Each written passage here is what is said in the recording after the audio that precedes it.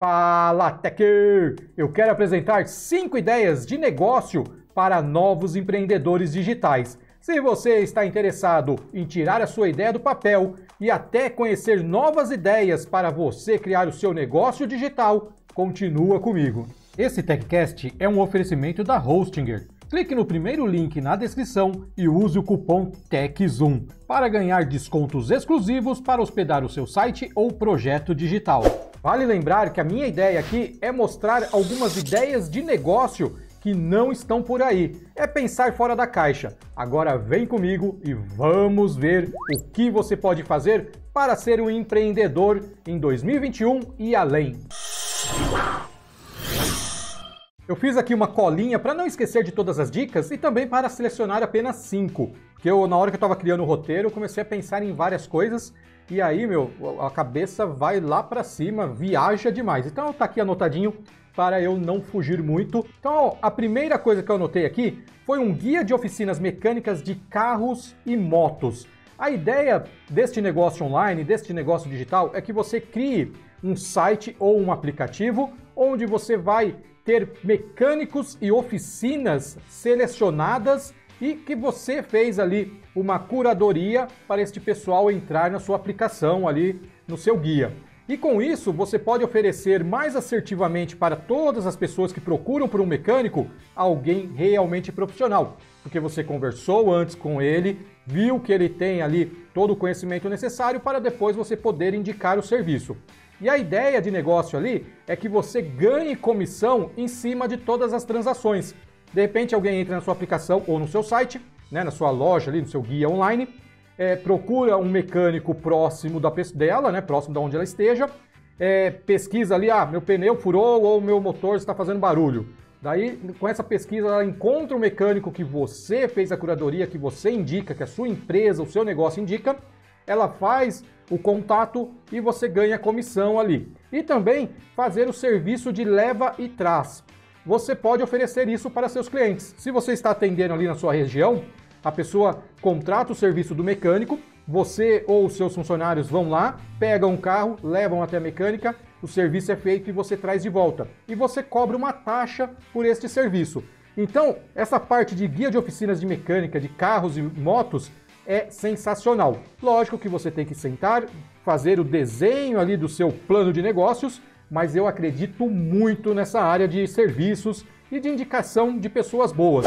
Essa segunda ideia é mais uma ali que é bem local, bem é, para pessoas que estão ali numa região definida, mas que também pode crescer com o tempo, que é um negócio de marmitaria. Você pode criar um sistema de marmitaria online onde as pessoas entram, escolhem ali a, a, comida que ela quer receber. Tem muita gente que tem alguns problemas de saúde que precisam comer determinada é, salada ou determinada comida, propriamente dita, que não faça mal para ela.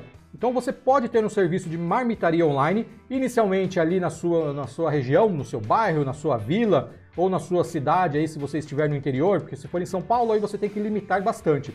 Mas é bem interessante porque você pode oferecer um serviço de qualidade, você mesmo pode produzir estas marmitas, pode criar as comidas, cozinhar ou então fazer parceria com restaurantes. Daí você fala, ah, mas já tem o iFood. Ok, tem o iFood, mas o iFood não tem uma curadoria de comida saudável. Você faria este papel. Por isso que é uma coisa que tem que começar bem pequena.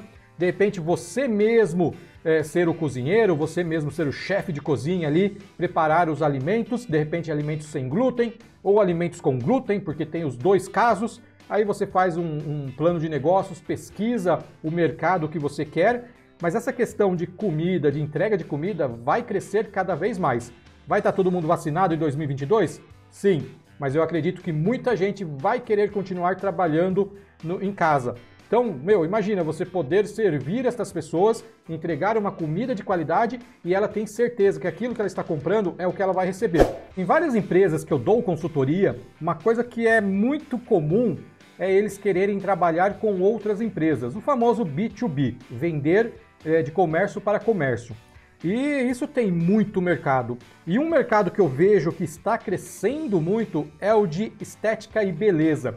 De repente você pode criar uma empresa que vai ser um site ou uma loja virtual só para entregar ou para vender ou fornecer produtos para os cabeleireiros. Então você não vai vender direto para o consumidor, uma empresa vendendo para outra empresa. E eu vejo muito mercado nisso, eu vejo muita gente já entrando e eu acho que você não pode perder o bonde. Brechó online. Eu sei que isso não é nenhuma novidade, mas imagine você criar um marketplace de brechós. E aí você vai ser o cara que vai mostrar todos esses produtos, essas roupas usadas para outras pessoas. Então você pode criar uma loja online especializada em divulgar brechós. Aí é um marketplace completo onde outras pessoas vão entrar e vão vender as suas roupas. Mas o que vai ser o seu diferencial é novamente a curadoria.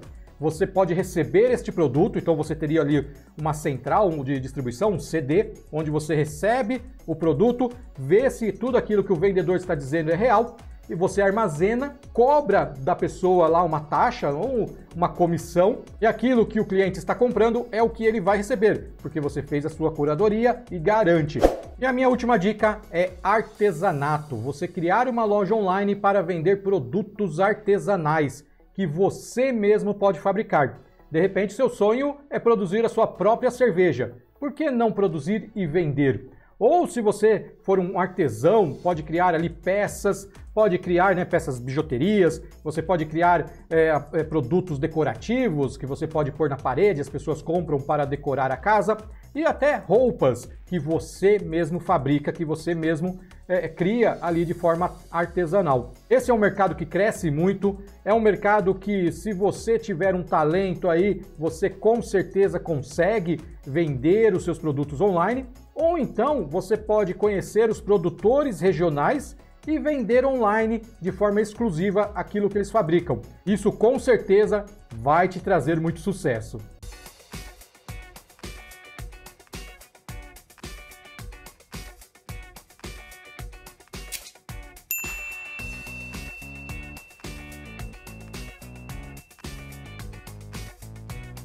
Muito bom, hein, Tecker? Agora é aquele negócio, se você não sabe por onde começar, deixa aí nos comentários, eu quero te ajudar ainda mais. E se você tem alguma dúvida muito específica, comenta também que eu posso produzir um segundo vídeo, um terceiro vídeo, um próximo TechCast para te ajudar. E lembrando, se você quer uma empresa séria para hospedar o seu negócio online, clica no primeiro link aí na descrição, dá uma olhadinha lá na Hostinger e usa o cupom TechZoom para você ganhar descontos. É a forma mais fácil e mais legal para você iniciar o seu negócio online e se tornar um empreendedor digital.